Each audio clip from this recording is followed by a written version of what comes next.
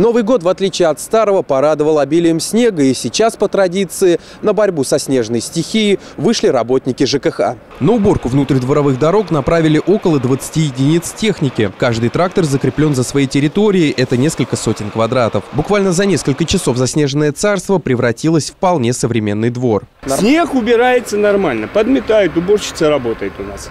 Это нормально. Ну, как снег попадает, выпадет, так и убирают.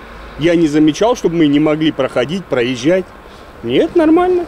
По идее, чистится нормально. Однако не все так радужно, как кажется на первый взгляд. Среагировать моментально на обильные осадки и очистить все дворы от снега коммунальщикам непросто. Последствия снегопада устраняли в течение нескольких дней. На сегодняшний день э, в ежедневном режиме, начиная с 6 часов утра, э, от 17 до 20 единиц техники производят механизированную уборку территории придомовой, очищают от снега.